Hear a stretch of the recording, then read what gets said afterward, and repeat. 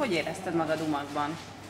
Hát nagyon jól éreztük magunkat, nagyon jó volt a hangulat, nagyon-nagyon kedvesek voltak az emberek, szerintem egy kiváló szervezést láthattunk, tényleg minden úgy volt, ahogy az, az előre a programba le volt írva, az ételek nagyon jók voltak, a szállás megfelelő volt, úgyhogy tényleg jól éreztük itt magunkat. És ha valami hasonló eredményre számítottál? Tehát ötödik helyen meg lettél volna elégedve? Hát igazából azt hiszem a csapat az úgy jött, hogy hát legalább egy bronz mérkőzést szerettünk volna vívni, de amikor azért megérkeztünk és láttuk már itt a elvét megelőző napokban a felkészülési tornán az itt készülő csapatokat, ugye a dánok, az olaszok, a norvégok, a spanyolok, ugye a hazai csapat, a horvátok itt már kisebb tornákat játszottak, akkor azért láttuk, hogy nagyon-nagyon erős a mezőny, nem tudtuk, hogy mi mire leszünk képesek köztük, de amikor azért a csoportból elsőként tovább jutottunk, akkor mi már nagyon reménykedtünk abban, hogy a négy közébe fogunk tudni jutni. Uh-huh. Marian, te vagy a tulajdonképpen a válogatottnak a, a védő, fővédője, hogy így mondjam. Hogyan éled meg azt, amikor a második kiállításod után megkapod a piros lapodat, és le kell jönnöd a pálya szélére?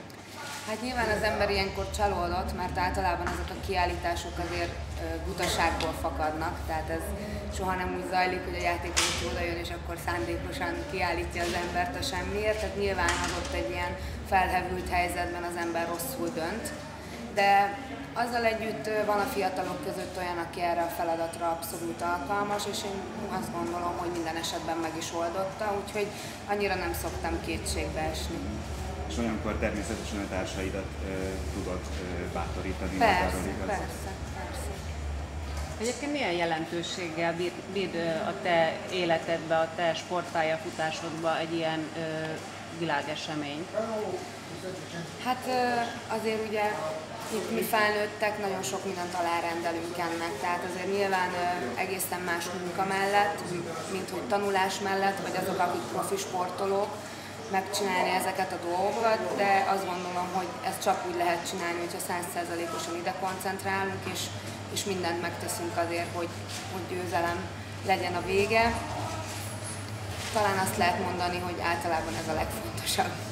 És egyáltalán mennyi időd marad a nyaralásra emellett? Hát olyan, hogy nyaralás olyan nincs. Tehát ez a nyaralás, hogy itt vagyunk, végül is olyan emberekkel vagyunk itt, akit, akit kedvelünk, mert tényleg a csapat az, az, az már egy baráti közösségé formálódott, úgyhogy nagyon jól éreztük magunkat, rengeteget nevettünk, rengeteget szórakoztunk egymáson, meg így itt a körülöttünk lévő emberek is tényleg annyira kedvesek voltak, és olyan jó érzés, amikor oda jönnek és bíztatnak idegen más országból jött emberek, meg hát ez a rengeteg szurkoló, aki ide, ide kilátogatott, az nagyon-nagyon sok erőt adott nekünk, és hát leginkább ezért vagyunk csalódottak, hogy nem sikerült bejutnunk a négy közé, hogy a közönséget nem tudtuk kiszolgálni.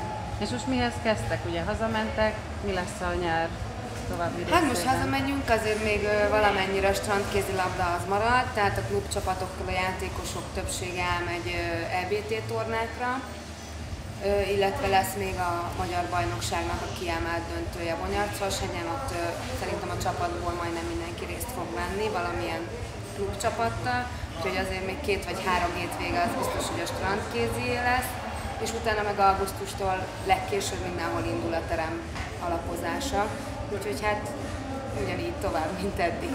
És azt, hogy most már tudod, hogy kim vagytok Brazíliában, gondolom azért ez nagy motiváció neked, hogy ott legyél. Hát szerintem ez mindenkinek nagyon nagy motiváció, de én azt gondolom, én a magam részéről, hogy nekem teljesen mindegy lett volna, hogy Brazília, Olaszország, vagy akár egy otthoni rendezésű világbajnokság, nem a helyszín a lényeg, hanem az, hogy az ember egy világbajnokságon képviselheti a hazáját.